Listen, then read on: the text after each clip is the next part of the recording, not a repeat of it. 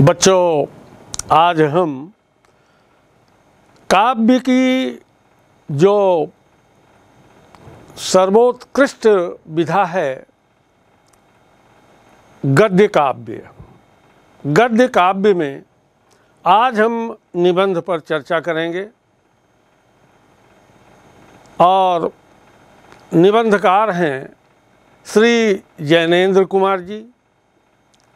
श्री जैनेन्द्र कुमार को मनोवैज्ञानिक कथाधारा का प्रवर्तक माना जाता है। प्रेमचंद्रोत्तर उपन्यासकारों में इनका विशिष्ट स्थान है। वे उच्च कोट के निबंधकार भी थे। जैनेन्द्र जी का जन्म 2 जनवरी 1905 को अलीगढ़, उत्तर प्रदेश के कौड़ियागंज गाँव में हुआ। आपके पिता का नाम श्री प्यारेलाल और माता का नाम श्रीमती रमा देवी था। दुर्भाग्य से जन्म के दो वर्ष बाद इनके पिताजी का निधन हो गया। जैनेन जी की जो प्रारंभिक शिक्षा है, वो हस्तिनापुर के जैन गुरुकुल में हुई। वहीं इन्होंने दसवीं की परीक्षा उत्तीर्ण की और इसके बाद उच्च शिक्षा के लिए काशी हिंदू विश्वविद्यालय में प्रवेश लिया। बच्चों, उस समय असहयोग आंदोलन चल रहा था। वो अपनी चरम सीमा पर था। तो गांधी जी के असहयोग आंदोलन का प्रभाव जैनेन जी पर भी बहुत पड़ा। तो असहयोग आंदोलन से प्रेरित होकर के उन्होंने बीच में अपनी पढ़ाई छोड़ दी। और गांधी जी के साथ असहयोग आंदोलन में शामिल हो गए। जैनेन जी महात्मा गांधी से बहुत प्रभावित हुए और गांधी जी के जीवन दर्शन का प्रभाव उनकी रचनाओं में भी देखा जा सकता है। हिंदी में प्रेमचंद के बाद सबसे महत्वपूर्ण कथाकार के रूप में प्रतिष्ठित हैं जैनेन्द्र जी। इनका अवदान अत्यंत व्यापक और वैविध्यपूर्ण है। कथाकार होने के साथ साथ आपकी जो पहचान है अत्यंत गंभीर चिंतक और निबंधकार के रूप में भी है। आपकी प्रभावी साहित्य सेवा के फलस्वरूप भारत सरकार ने सन 1971 में पद्म भूषण अलंकरण से अलंकृत किया और सन उन्नीस में साहित्य अकादमी सम्मान से आप सम्मानित हुए। और हिंदी का बहुत बड़ा दुर्भाग्य रहा कि सन 1990 में जैनेन्द्र जी पंचतत्व में विलीन हो गए। जैनेन्द्र जी ने उपन्यास, कहानी, निबंध, अनुवाद और संपादन कई क्षेत्रों में कीर्तिमान स्थापित किया है। उपन्यासों में बहुत ही प्रसिद्ध है इनका परख उपन्यास, जो सन उन्नीस सौ उनतीस में प्रकाशित हुआ था। और 1935 में सुनीता उपन्यास जो है प्रकाशित हुआ। और त्याग पत्र जो है उन्नीस सौ सैंतीस में प्रकाशित हुआ। इसी प्रकार से कल्याणी उपन्यास जो है हिंदी संसार में बहुत ही प्रसिद्धि पाया जिसका प्रकाशन जो है, उन्नीस सौ उनतालीस में हुआ। और विवर्त विवर्त का उन्नीस सौ तिरपन में, और सुखदा ये भी उन्नीस सौ तिरपन में ही प्रकाशित हुआ था। और व्यतीत ये भी उन्नीस सौ तिरपन में ही प्रकाशित हुआ। तीन तीन उपन्यास उन्होंने एक साल में दिए। और जयवर्धन जो है, उन्नीस सौ छप्पन में प्रकाशित हुआ। इसी प्रकार से कहानी संग्रह जो है, फांसी उन्नीस सौ उनतीस में, वातायन 1930 में, नीलम देश की राजकन्या 1933 में, और एक साल बाद, एक एक साल में, एक रात उन्नीस सौ चौंतीस में मतलब एक एक साल में इतना अधिक इन्होंने साहित्य जगत में काम किया है कि प्रति वर्ष इनका एक न एक उपन्यास या कथा संकलन पाठकों के सामने आता रहा। दो चिड़िया 1935 में, पाजेब बहुत ही प्रसिद्ध कथा संकलन है, जो 1942 में प्रकाशित हुआ और जय संधि जो है उन्नीस सौ उनचास में। इसी प्रकार, जैनैन जी के जो निबंध संकलन हैं, जिन्हें हिंदी संसार की अमूल्य निधि माना गया है प्रस्तुत प्रश्न 1936 में प्रकाशित हुआ और जड़ की बात 1945 में और पूर्वोदय उन्नीस सौ इक्यावन में। साहित्य का श्रेय और प्रेय ये उन्नीस सौ तिरपन में प्रकाशित हुआ। मंथन ये भी उन्नीस सौ तिरपन में प्रकाशित हुआ और उन्नीस सौ तिरपन में ही एक और निबंध संकलन आया, सोच विचार। और काम, प्रेम और परिवार, ये भी उन्नीस सौ तिरपन में ही प्रकाशित हुआ और ये और वे उन्नीस सौ चौवन में प्रकाशित हुआ।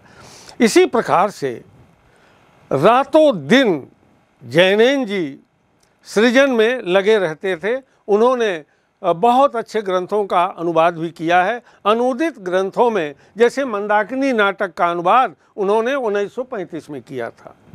प्रेम में भगवान कहानी का उन्नीस सौ सैंतीस में, पाप और प्रकाश नाटक उन्नीस सौ तिरपन में, और आपने संपादन भी किया है, अनेक विद्वानों को संजो करके, साहित्य चयन, ये उन्नीस सौ इक्यावन में एक निबंध संकलन आया, विचार वल्लरी निबंध संकलन जो है, उन्नीस सौ तिरपन में ही प्रकाशित हुआ। इस प्रकार हम देखते हैं कि जैनेन्द्र जी ने गद्य साहित्य में अद्भुत लेखनी चलाई है और इन्होंने गद्य साहित्य जगत में कीर्तिमान स्थापित किया है। जैनेन्द्र कुमार जी का जो सबसे बड़ा योगदान है हिंदी गद्य के क्षेत्र में तो गद्य के निर्माण में। इन्होंने हिंदी गद्य का नए ढंग से सृजन किया। भाषा के स्तर पर, जैनैन जी के द्वारा की गई तोड़फोड़ ने हिंदी को तराशने का अमृतपूर्ण कार्य किया है। हिंदी को एक पारदर्शी भाषा और भंगिमा दी, एक नया तेवर दिया। आज के हिंदी गद्य पर जैनेन्द्र जी की अमिट छाप है। बच्चों, आपके पाठ्यक्रम में उनका सुप्रसिद्ध निबंध, बाज़ार दर्शन, ये उत्कृष्ट विचारात्मक निबंध का उदाहरण है। बाज़ार दर्शन निबंध पर चर्चा करने के पूर्व, यह जान लेना आवश्यक है कि निबंध है क्या। आप निबंध प्रारंभिक कक्षाओं से ही पढ़ रहे हैं, लेकिन निबंध को आपने कभी परिभाषित नहीं किया है। तो थोड़ा सा संक्षेप में उसे हम समझ लें कि वास्तव में निबंध जो है, गद्य लेखन की एक सशक्त विधा है। निबंध शब्द नी और बंध से बना है, जिसका अर्थ होता है अच्छी तरह से बंधा हुआ।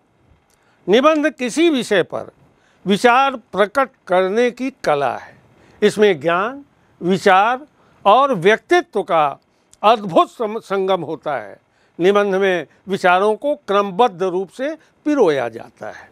ये मूलतः चार तरह के होते हैं। वर्णनात्मक निबंध, विचारात्मक निबंध, भावात्मक निबंध, साहित्यिक या आलोचनात्मक निबंध। अब हम चर्चा करते हैं, बाज़ार दर्शन। बाज़ार दर्शन जैनैन जी का एक महत्वपूर्ण निबंध है, जिसमें गहन वैचारिकता और साहित्य सुलभ लालित्य का मणिकांचन सहयोग देखा जा सकता है।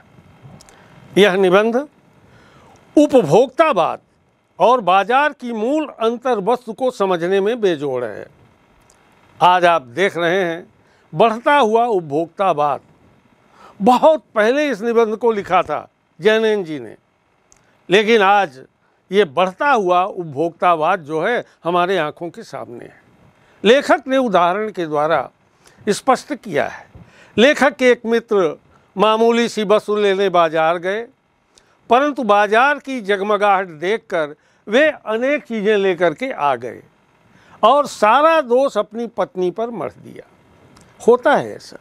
जैसे आप जब बाज़ार जाते हैं तो वहाँ मैंने बाज़ार की जो जगमगाहट है, विज्ञापन के उद्देश्य से जो दुकानदार है, या जो पूर्ति करने वाला व्यक्ति है, जो सामग्री की पूर्ति करने वाला दुकानदार है, वह अपनी दुकान को सजा कर रखता है। तो वहाँ की जगमगाहट देख करके व्यक्ति जो है अनेक प्रकार की चीज़ें खरीद लेता है। और चूँकि उनकी पत्नी उनके साथ गई थी, उनके मित्र की, उन्होंने सारा दोष उन पर जड़ दिया। लेखक के अनुसार ये सारा दोष केवल पैसे की गर्मी का है, उनकी पत्नी का नहीं। कुछ लोग बुद्धि और संयम से काम लेते हुए पैसा को जोड़कर ही गर्व का अनुभव करते हैं। दो तरह के व्यक्ति हुए। एक बिना सोचे समझे खर्च करने वाले और एक ऐसे होते हैं जो पैसों को जोड़कर गर्व की अनुभूति करते हैं। लेखक ने अपने दूसरे मित्र के बारे में यही अनुमान लगाया कि जो बाज़ार से कुछ भी न ले और वे अपनी परचेजिंग पावर के हिसाब से खुश हैं। इस प्रकार के भी उपभोक्तावाद के शिकार हैं। आप देख रहे हैं कि आज के समय में बाजारवाद का जो प्रभाव है, वह हमें चतुर्दिक दिखाई देता है। तो लेखक एक मित्र ने भी बाज़ार की चकाचौंध को ही दोषी माना है। जो लोग इस चकाचौंध के शिकार हो जाते हैं, वे बुरी तरह फंसकर अपना ही नुकसान कर बैठते हैं। लेखक का एक मित्र, बाज़ार की चकाचौंध में इस प्रकार फंस गया कि दिन भर बाज़ार घूमने के बाद भी कोई वस्तु खरीद ही नहीं पाया। इसका कारण उसने लेखक को बताया कि सभी कुछ उसे पसंद आया। किंतु वह कोई एक दो वस्तु ही लाता तो अन्य वस्तुओं को उसे छोड़ना पड़ता। और कुछ भी छोड़ना नहीं चाहता था, इसलिए वह कुछ खरीद नहीं पाया। इस तरह से आप भी जब बाज़ार जाते हैं तो एक मानसिकता व्यक्ति की बनती है।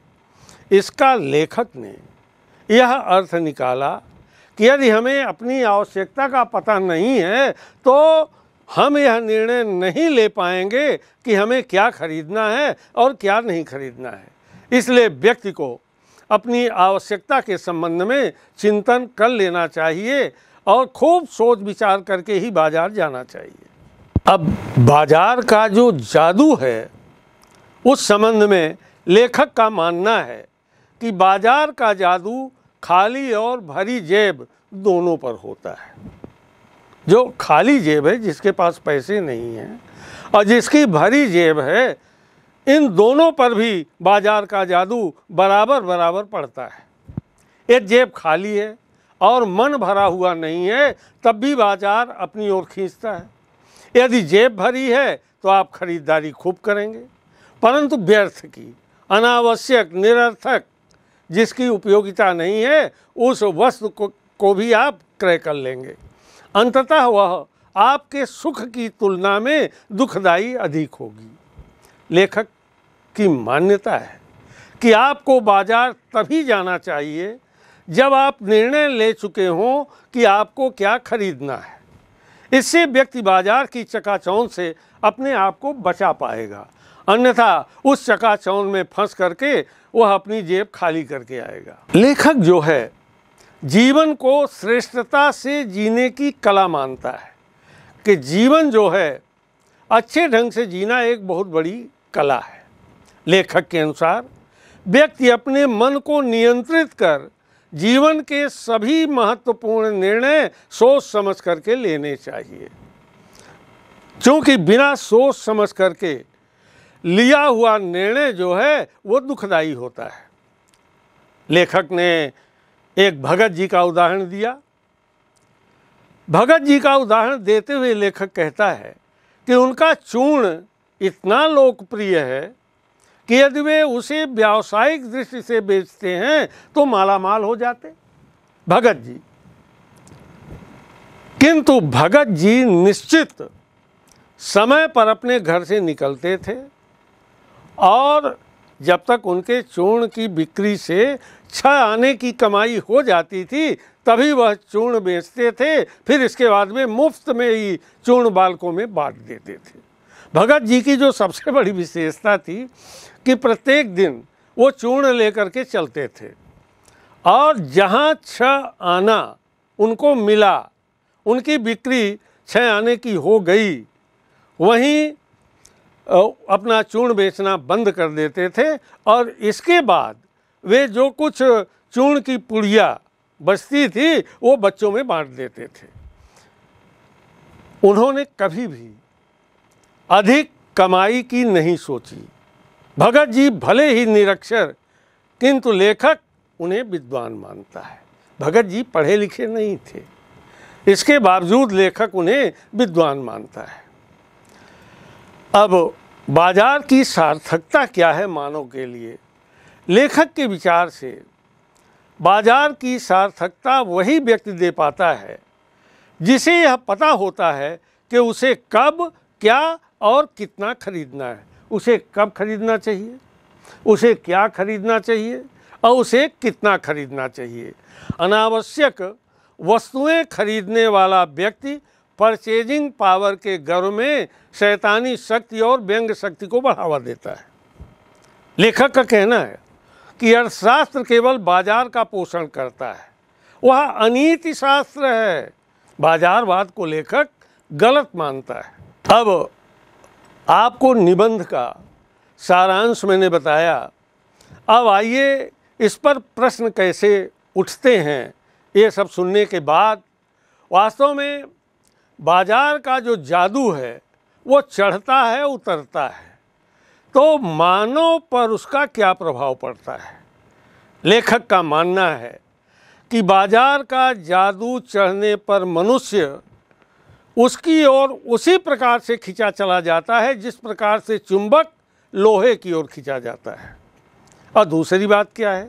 मनुष्य को सभी सामान ज़रूरी और आरामदायक प्रतीत होते हैं। मनुष्य को जिस वस्तु की आवश्यकता न भी हो तो भी वह खरीदने को मजबूर हो जाता है। अगर वो बाज़ार चला गया और बाज़ार का जादू अगर चढ़ गया है उस पर तो। वस्तुओं की उपयोगिता का पता चलने पर मनुष्य के स्वाभिमान को ठेस पहुँचती है। बाज़ार का जादू उतरने पर मनुष्य को आभास होता है कि जो आरामदायक फैंसी वस्तुएँ उसने खरीदी थीं, वे सर, सब जो हैं, आराम देने की अपेक्षा उसे दुख पहुंचाती हैं। बीच में जब मैं बाज़ार दर्शन पर चर्चा कर रहा था तो परचेजिंग पावर की चर्चा मैंने की थी। ये है क्या परचेजिंग पावर? परचेजिंग पावर का अर्थ है पैसे की वह पावर जिससे महँगी से महँगी वस्तुएँ खरीद सकते हैं। मॉल की संस्कृति, सामान्य बाज़ार और हाट की संस्कृति, सभी परचेजिंग पावर से चलते हैं। जो माल की संस्कृति में लगभग सभी प्रकार की वस्तुएँ एक ही स्थान पर ऊँची से ऊँची कीमत में मिल जाती हैं।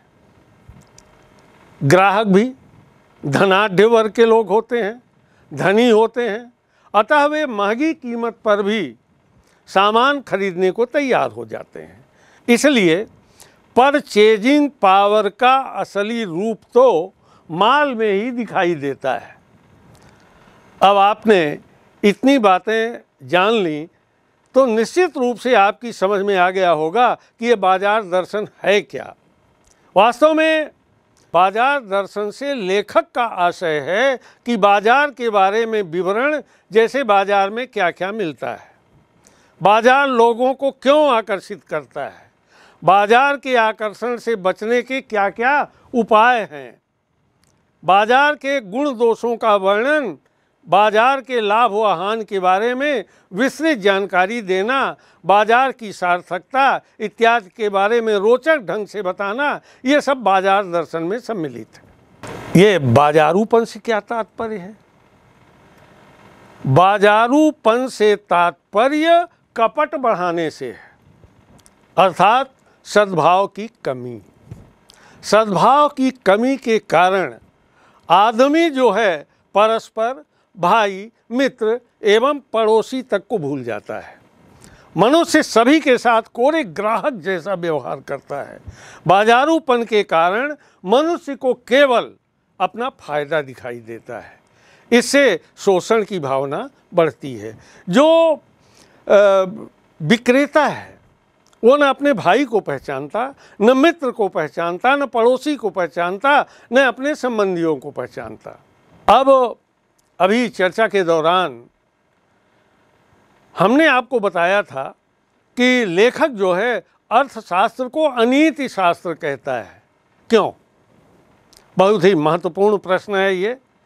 लेखक की मान्यता है कि जो कैपिटलिस्टिक अर्थशास्त्र, अर्थात पूंजीवादी अर्थशास्त्र, जो धन को अधिक से अधिक बढ़ाने पर बल देता है, मायावी है छली है और अनीतिपूर्ण है। कारण, बाज़ार का जो मूल दर्शन है, आवश्यकताओं की पूर्ति करना है। यदि इस लक्ष्य को छोड़कर व्यापारी धन कमाने की होड़ में लग जाएँ तो बाज़ार का जो असली लक्ष्य है, वो नष्ट हो जाता है। यह बाज़ार के नाम पर जो भटकाव है, ग्राहक को आवश्यकता की वस्तु उचित दाम पर देने के बजाय अगर पैसा कमाना लक्ष्य रख लिया जाए तो बाज़ार का जो असली लक्ष्य है, वो पूरा ही नहीं होता। पैसा कमाने का लक्ष्य जब दुकानदार बना लेता है तो व्यापार में कपट बढ़ता है, छल बढ़ता है। व्यापारी ग्राहक की हानि करके भी अपना लाभ कमाना चाहता है। इससे शोषण की शुरुआत होती है, अतः ये अनीतिपूर्ण है। ऐसे पूंजीवादी बाज़ार से मानवीय प्रेम, भाईचारा तथा सौहार्द जो है, वो समाप्त हो जाता है। सभी लोग ग्राहक और विक्रेता बनकर रह जाते हैं। पूंजीवादी अर्थशास्त्र के कारण ही बाज़ार में फैंसी चीज़ों का प्रचलन बढ़ता है। लोग बिना आवश्यकता के ही उसके रूप जाल में फंस जाते हैं। इसीलिए लेखक ने उसे मायावी कहा है। अब एक प्रश्न और बनता है। खाली मन और भरी जेब, यह क्या है? लेखक की मान्यता है कि खाली मन तथा भरी जेब मन में किसी निश्चित वस्तु को खरीदने की इच्छा का न होना और वस्तु की आवश्यकता का न होना। परंतु जब जेबें भरी रहती हैं या जेबें भारी होती हैं तो व्यक्ति आकर्षण के वशीभूत होकर वस्तुएँ खरीदता है। इससे बाजारवाद को बढ़ावा मिलता है। बाज़ार दर्शन के आधार पर पैसे की व्यंग शक्ति क्या है? वास्तव में लेखक का मानना है कि पैसे की व्यंग शक्ति से तात्पर्य, पैसे के आधार पर स्वयं को हीन या श्रेष्ठ समझना। पैसा ही हीनता और श्रेष्ठता का एहसास कराता है। यही पैसे की व्यंग शक्ति है। अपनी क्रय शक्ति को दिखाकर खरीदार स्वयं को ऊँचा सिद्ध करता है। इसीलिए वह बाज़ार से बिना ज़रूरत के ढेर सारा सामान खरीद करके ले आता है। लेखक ने बाज़ार दर्शन निबंध में उन सारी बातों को आपके सामने रखा है कि बाज़ार जाते समय आपको किन किन बातों का ध्यान रखना चाहिए तो बाज़ार जाते समय हमें ध्यान रखना चाहिए कि हम बिना किसी ज़रूरत के वहाँ न जाएँ। पहली बात, अगर आपकी ज़रूरत नहीं है, अगर आपको कुछ खरीदना नहीं है तो आप बाज़ार बिल्कुल मत जाइए और आप जाएँगे तो ललचाई निगाहों से उसे देखेंगे। आपके मन में लालच आएगी कि काश हम भी इसे खरीद पाते। तो आप अगर बाज़ार नहीं जाएँगे तो आपके मन में लालच नहीं आएगा। और मान लीजिए आप गए भी तो ललचाई निगाहों से उसे न देखें। लेखक के शब्दों में वहाँ खाली मन न जाए, मन आपका भरा रहे। अभी हमने चर्चा के दौरान भगत जी का उल्लेख किया था।